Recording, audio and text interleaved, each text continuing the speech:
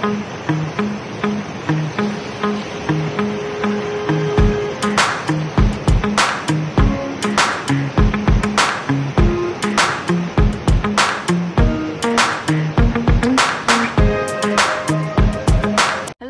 Welcome back to my channel and welcome to another vlog.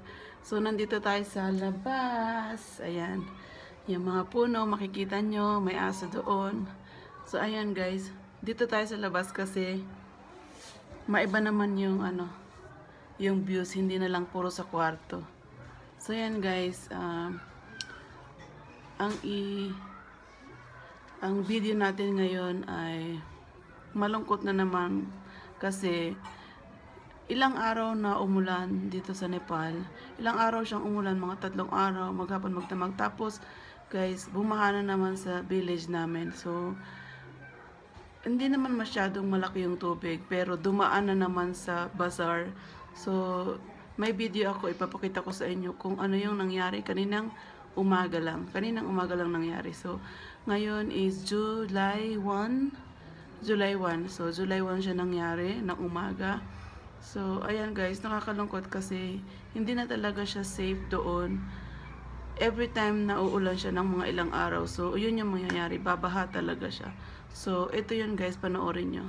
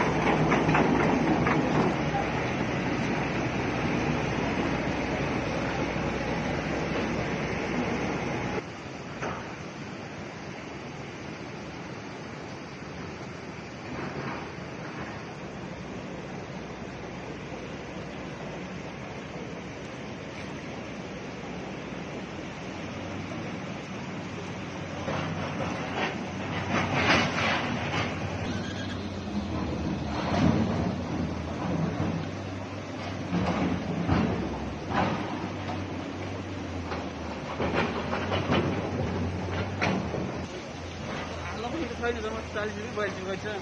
त्यसलाई पठाइन्छ भिडियोले पठाइन्छ कसलाई पठाउनु तर पार्टीबाट चल्छ अहिले पनि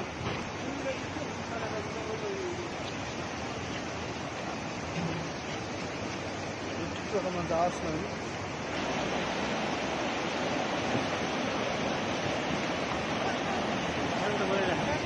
हाँ? अब पुलको पाला आउने हो कि?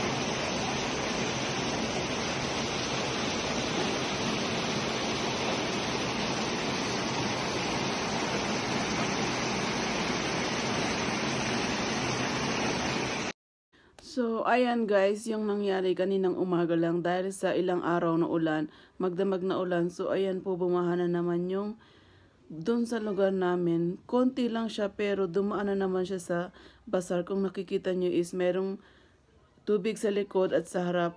Yun po, dumaan na naman siya doon. And kahit anong gawin, actually, inano na yan eh, yung ano ba hinarangan na yan ng ano eh, ng bako, yung nag-machine wala, wala. Dumaan pa rin siya. So, hindi talaga, hindi siya kayang suportahan ng mga hinarang ng mga tao na bato, ganyan.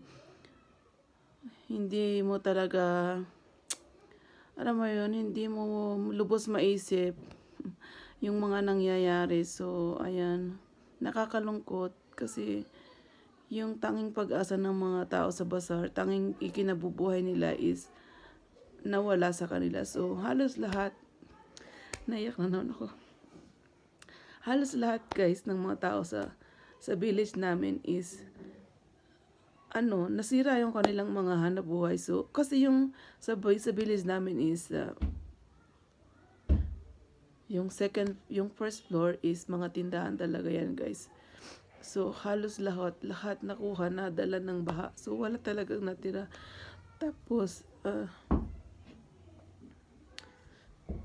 Tapos guys, kung makikita nyo, yung, yung mga bahay talaga sira-sira. So, totoo lang guys, ngayon ko lang din nakita yung, yung buong video sa, sa village namin guys. And habang pinapanood ko siya, is kinikilabutan ako guys. Kinikilabutan talaga ako. Yung, mas tumitindig yung balahibo ko sa napapanood ko ngayon. So, mas paano pa nung, paano pa kaya kung yung nakakuha ako mismo ng video, nung kasagsagan ng baha, yung mataas talaga yung tubig niya. So, ngayon pa lang na medyo konti lang yung baha, is kinikilabutan na ako guys. So, ayan po. Ayan po talaga yung nangyayari ngayon. So, nakakalungkot mang isipin pero kailangan po naming tanggapin yun. So, yun nga guys. Ano, yung sinasabi ko sa inyo kanina, yung walang natira sa mga tindahan doon sa village. So, ayan po. Tapos, may medyo okay-okay na, may kaunti na silang pag-asa. Tapos ayan na naman, bumaha na naman guys. So nakakatakot na nakapanlulo mo kasi paano na, paano na yung mga tao kung every time na uulan is babaha ulit. So ayan guys, yung yung nangyayari sa bazaar namin ngayon and wala wala tayong magagawa kasi nature yan eh, hindi natin mapipigilan. So, ayan guys, ah, hindi natin alam kung ano yung mangyayari sa atin. So, ingat-ingat po tayo and ah, again po, maraming maraming salamat po sa lahat ng tumulong sa amin. Maraming maraming salamat po and hanggang dito na lamang po yung video ko. And yun lamang po and Thank you, thank you po. Thank you for watching. Thank you for subscribing my video. Thank you for praying for us. And thank you for supporting us. Thank you so much. So, yun lamang po and bye-bye po. Good night.